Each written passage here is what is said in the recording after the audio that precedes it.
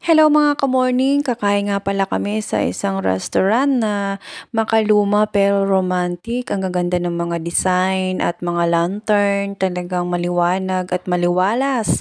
Kung makikita mo yung mga kesame, ay mga furni uh, furniture, yan mahilig sila sa furniture at mga gandang lantern. Uh, naisipan namin kumain dito dahil first day nga sa work ko.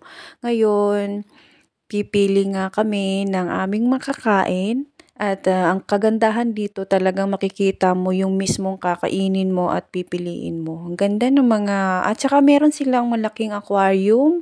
Yan, pwede kang mamili ng isda pero isa, nag-iisa na lang ang isda.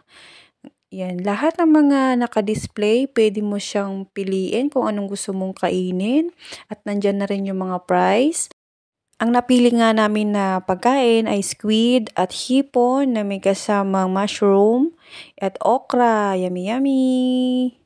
Yan. At alam ba, meron ditong buhay na palaka. Yun o, edi wow, palaka. Ang pogi naman nun. O, di ba? Yan napili namin. Squid, hipon at may at merong mushroom. Di ko alam kung anong saktong pangalan noon. Yan, kukunin namin yung mga napili namin at naka-stick na siya. At gusto namin kumain ng, tina ng isang tinapay.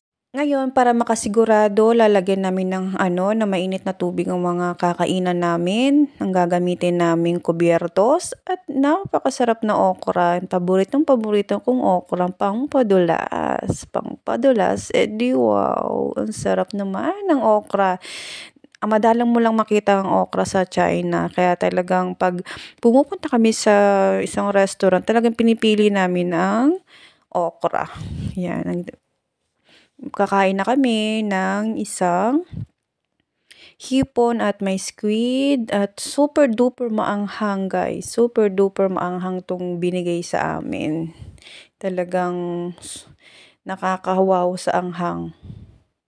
Yan, yun ang aming pagkain.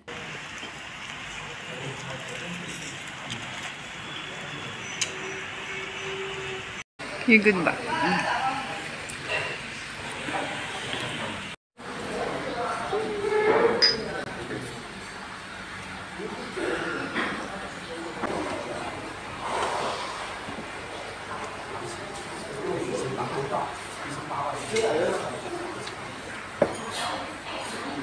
I